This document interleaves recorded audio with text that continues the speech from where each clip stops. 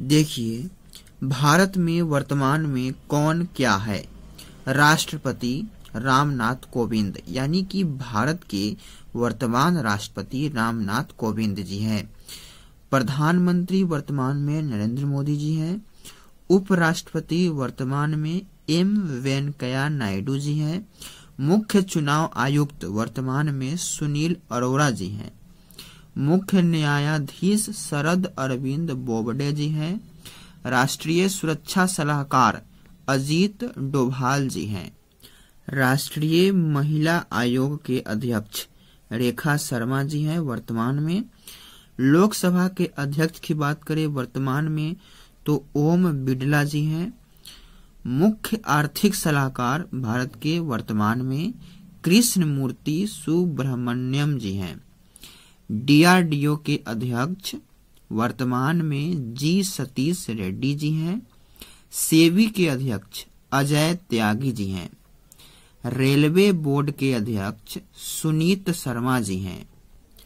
इसरो के अध्यक्ष के सिवान जी हैं। आरबीआई के गवर्नर वर्तमान में शक्तिकांत दास जी हैं। एसबीआई के अध्यक्ष वर्तमान में रजनीश कुमार जी हैं।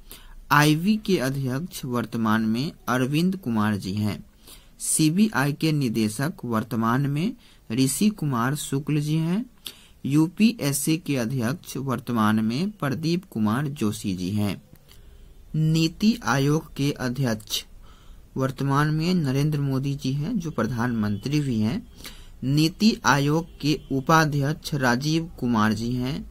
नीति आयोग के सीईओ वर्तमान में अमिताभ कांत जी हैं।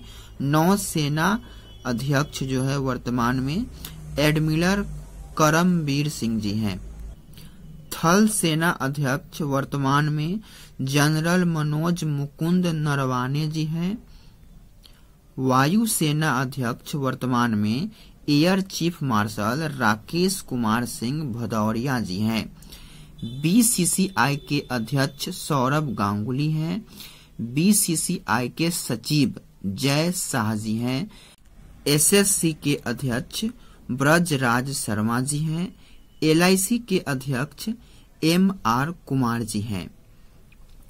दोस्तों, वीडियो अच्छा लगा हो तो लाइक करें, अपने दोस्तों के साथ शेयर करें। धन्यवाद।